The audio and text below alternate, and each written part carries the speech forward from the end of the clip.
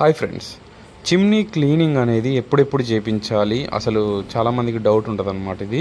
యాక్చువల్గా ఏంటంటే ఇది మీరు పర్చేజ్ చేసిన ఎయిటీన్ మంత్స్ అంటే యూజ్ చేస్తున్నప్పటి నుంచి ఎయిటీన్ మంత్స్ వరకు టైం పెట్టుకోవాలన్నమాట. అంటే వన్ అండ్ హాఫ్ ఇయర్కి మనం ఒకసారి చెక్ చేసుకోవాలి. లోపల అంటే బ్లోయర్ దగ్గర ఎలా ఉంది? జిడ్డు బాగా పేరుకుపోయి ఉందా లేకపోతే ఏంటి అనేసి చెక్ చేసుకొని వన్ అండ్ హాఫ్ ఇయర్ నుంచి ఆ తర్వాత ఇంకా చేపించుకోవాలి. టూ ఇయర్స్కి ఒకసారో లేదా ఎయిటీన్ మంత్స్కి ఒకసారో.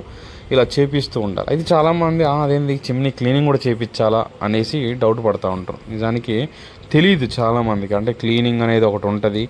స్పెసిఫిక్గా టెక్నీషియన్ వచ్చి ఆ చిమ్నీ యూనిట్ అంతా తీసేసి బయట వాష్ ఏరియాలో పెట్టేసి మన కెమికల్ వేసేసి హాట్ వాటర్లో పెట్టేసి క్లీన్ చేస్తారనమాట అప్పుడు ఏంటంటే ఆ బ్లోయర్ దగ్గర పట్టిన జిడ్డు అంతా పేరుకుపోయిన జిడ్డు అంతా ఆ వేడి నీళ్ళల్లో ముంచి కెమికల్ వేసి క్లీన్ చేయడం వల్ల ఏంటంటే అదంతా వదిలిద్ది. మళ్ళీ ఫ్రీ సెక్షన్ ఉంటుంది అనమాట మళ్ళీ ఒక టూ ఇయర్స్ దాకా ఎటువంటి ఇబ్బంది లేకుండా ఫ్రీగా రన్ అవుతూ ఉంటుంది.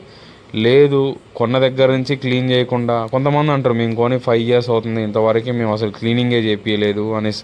మాకు అవసరం లేదు అని అంటూ ఉంటారు. నిజానికి నో అది రాంగ్ అది. ఎందుకంటే మీరు కనీసం రెండు సంవత్సరాలకు ఒక్కసారి మీరు క్లీనింగ్ చేపిస్తే ఆ బ్లోయర్ అంటే మోటార్ దగ్గర పేరుకుపోయిన జిడ్డు ఆ బ్లోయర్ మీద పేరుకుపోయిన జిడ్డు అనేది వదిలిద్ది ఫ్రీగా తిరుగుతాం అది వదలలేదనుకోండి ఇంకా డిపాజిట్ అవుతూ ఉంటుంది అక్కడ జిడ్డు. అది పేరుకుపోతున్నప్పుడు ఆ బ్లోయర్ మీద లోడ్ పడి మోటార్ హీట్ అయ్యి త్వరగా కాలిపోతాం అనమాట రెండోది పొగ లాక్కోదు. లాక్కోనే అంత ఫ్రీనెస్ ఉండదు అనమాట అక్కడ ఇదంతా పేరుకుపోవడం వల్ల.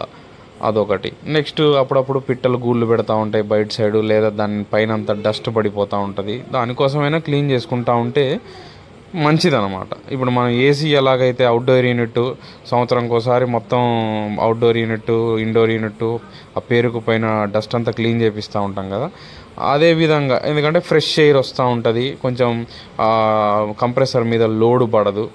సో అదే పాలసీ ఈ చిమ్నీలలో కూడా ఉంటుంది. చాలామంది అవసరం లేదు అనుకుంటారు. క్లీనింగ్ అనేది చిమ్నీకి అవసరం లేదు అనుకుంటారు. నో ఇది ఒక మెయింటెనెన్స్ ప్రోడక్ట్ దీన్ని ఖచ్చితంగా మనం మెయింటెనెన్స్ చేయాలి. మేము కంపెనీ వాళ్ళం ఏంటంటే ఎయిటీన్ మంత్స్ అని చెప్తాము. మీరు టూ ఇయర్స్కి ఒకసారి అనుకోండి ఇంకా. టూ ఇయర్స్కి ఒకసారి పక్క హండ్రెడ్ పర్సెంట్ క్లీన్ చేయించుకుంటే మళ్ళీ టూ ఇయర్స్ దాకా ఇబ్బంది ఉండదు అనమాట లేదు ఇంట్లో వంట తక్కువ ఉంటుంది ఆయిల్ యూసేజ్ తక్కువ ఉంటుంది.